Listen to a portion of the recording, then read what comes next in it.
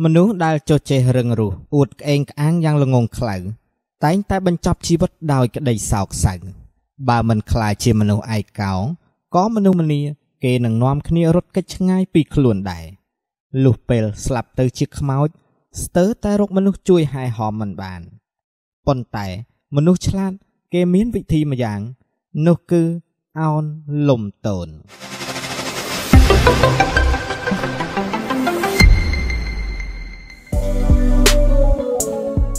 ហានស៊ីងសុំយោបល់ពីឆ្លើយសឹកកាលពីសម័យហានស៊ីងនិងចាងអឺនាំតបនគរហានជាច្រើនម៉ឺនអ្នកឆ្លងកាត់ភ្នំថៃហាងវីលុកចូលនគរចៅភៀកខាងកើតព្រះរាជាចៅវង្សៀនិងមេតបធំ បានបញ្ជាឲ្យឈិនវី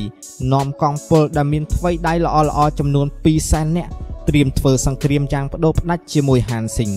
នៅតំបន់ច្រកភ្នំថៃហាងលីជួឈើ មេតបរបស់នគរចៅ បានគិតរៀបចំផែនការជាមួយឈិនវី ដោយឲ្យយោបល់ថា ខ្លួនគាត់ផ្ទាល់នឹងនាំកងកម្លាំងពិសេស30000នាក់ដើរកាត់តាមផ្លូវច្រកតូច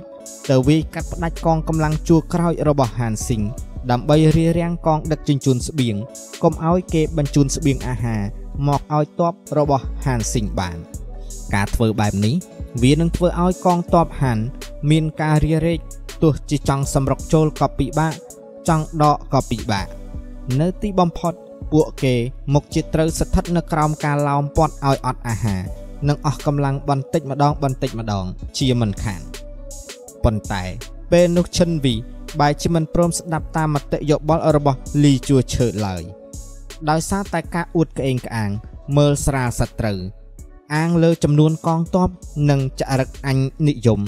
ឈិនវី ទ័ពរបស់នគរហាន់ដឹកនាំដោយហានស៊ីងបានវាយទ័ពនគរចៅយ៉ាងបដូរផ្ដាច់រហូតទទួលបានជ័យជំនះរីឯបុរសអំនួតឈិនវីត្រូវបរាជ័យហើយក៏ត្រូវគេកាត់ក្បាលតែម្ដងទៅឯស្ដេចចៅវ៉ាងសៀលីជួឈើនិងអ្នកដតីផ្សេងទៀតត្រូវតបនគរហាន់ចាប់យកធ្វើជាឆ្លើយសឹកអស់មុនពេលមកធ្វើសឹកនេះហាន់ស៊ីងបានដឹងរួចមកហើយថា លីជួឈើគឺជាមនុស្សដ៏ពូកែមានប្រាជ្ញាវៃឆ្លាតគាត់តែមានគំនិតថា ថ្ងៃណាមួយគាត់នឹងសុំយកលីជួឈើធ្វើជាគ្រូរបស់ខ្លួនហេតុនេះគាត់បានដាក់បទបញ្ជាតាំងពីដំបូងទីមកថា ហាមសម្លាប់លីជួឈើជាដាច់ខាត បើនរណាចាប់លីជួឈើបាន អ្នកនោះនឹងទទួលបានរង្វាន់ពេលគេនាំខ្លួនលីជួឈើមកជួបហានស៊ីង បានចូលទៅដោះខ្នោះច្រវាក់ឲ្យលីជួឈើដោយខ្លួនឯងនិងសម្ដែងការគោរពយ៉ាងទន់ភ្លន់ហានស៊ីងនិយាយទៅកាន់លីជួឈើថាខ្ញុំបានឮល្បីល្បាញជាយូរមកហើយថា លោកនេះគឺជាមនុស្សដែលមានសមត្ថភាពនិងពោពេញទៅដោយគំនិតប្រាជ្ញាឆ្លៀសវៃក្នុងការធ្វើសឹកសង្គ្រាមហេតុនេះខ្ញុំមានរឿងខ្លះខ្លះចង់សុំយោបល់ពីលោកខ្ញុំនឹងចាងអឺ ចង់លើកតបទៅវិញនគរវើយនិងនគរចៅ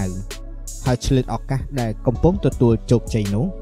បន្តសម្រុកទៅវិញនគរអៀន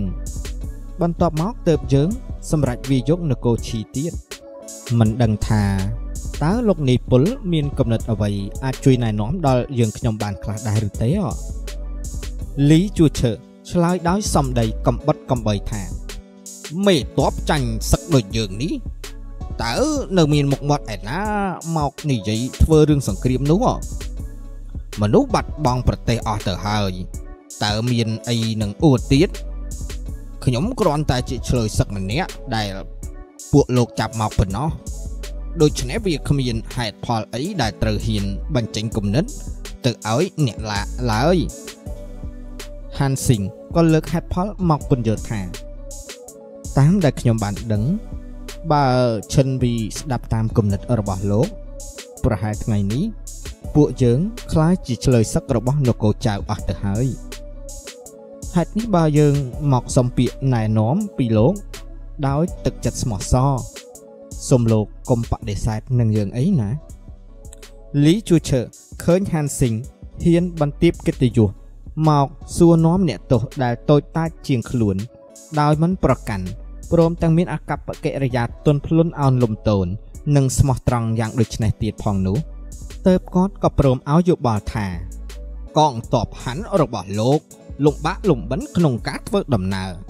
និងបានប្រយុទ្ធគ្នាជាបន្តបន្ទាប់មករហូត គ្រប់គ្នានឿយហត់ច្រើនណាស់ហើយក្នុងពេលនេះលោកគួរតែសម្រាបណ្ដោះអាសន្នដើម្បីប្រមូលកម្លាំងនិងរកឱកាសលួងលោមលើកទឹកចិត្តដល់កងទ័ព និងប្រជារាស្ត្របន្តិចសិនលោកគួរយកអាហារទៅចែកឲ្យប្រជាជនអត់ឃ្លានផ្ដល់រង្វាន់តបស្នងជាគុណបំណាច់ដល់នីតិហ៊ាន និងពលទាហាន ទៅតាមគុណសម្បត្តិរៀងរៀងខ្លួននិងជប់លៀងពួកគេដោយផ្ដល់ជាអាហារល្អល្អ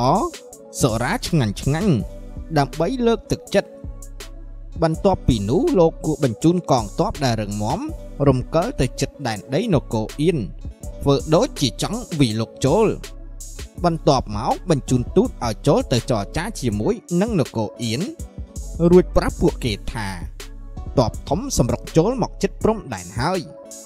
ដូចនេះនគរអៀនមកជាសុកចិត្តព្រមចោះចូលជាមិនខានពេលនគរឈីដឹងថានគរអៀនព្រមចោះចូលនគរឈីក៏ប្រហែលជានឹងព្រមចោះចូលតាមដែរតាមពិតទៅដើម្បីធ្វើសឹក គេគួរតែបង្កើតយុទ្ធសាស្ត្រជាមុន បន្ទាប់មកទៅនាំតបទៅវិលុកជាក្រោយ គឺវាមានតែប៉ុណ្្នឹងឯងហានស៊ីងយល់ឃើញថាលីជួឈើមានយោបល់ល្អណាស់ទើបគេរៀបចំផែនការអនុវត្តតាមជាបន្ទាន់រួចតែងតាំងទូតឲ្យបញ្ជូនសារយកទៅប្រគល់ឲ្យនគរអៀននគរអៀនឃើញកងទ័ពរបស់ហានស៊ីងមកដល់ត្រៀមវីលុកបានគ្រប់ពេល ទើបគេប្រញាប់ចោះចូលតែម្ដងទៅភាពអួតក្អេងក្អាងនាំឲ្យកើតមានអកតេភាពអកតេកើតមានដោយក្តីល្ងងខ្លៅមនុស្សឆ្លាតវៃពិតប្រាកដនិងព្យាយាមសម្របខ្លួនទៅតាមស្ថានភាពតម្រង់ក្រសែភ្នែកទៅរកគោលដៅរបស់ខ្លួននិងឈ្មោះឈ្មោះទៅរកគោលដៅនោះ ដោយមិនរួញរាននោះឡើយអ្វីត្បិតតែហានស៊ីងព្រមបន្ទាបខ្លួន តែក៏ពុំមាននរណាហ៊ានបង្អាប់ថាគាត់ជាមនុស្សអន់ខ្សោយឬថោកទាបអ្វីដែរហើយព្រមទាំងបានដឹកនាំកិច្ចការឲ្យឈានទៅរកជោគជ័យយ៉ាងងាយស្រួលទៀតផងផ្ទុយទៅវិញ ការអួតក្អេងក្អាង គឺជាចរិតរបស់មនុស្សល្ងងព្រមទាំងគ្មានផ្ដល់ផលល្អពិតប្រាកដណាមួយដល់ខ្លួនឡើយស្រួលមិនស្រួល អាចនឹងបញ្ចប់ជីវិតដូចឈិនវីយ៉ាងដូច្នោះដែរ thank you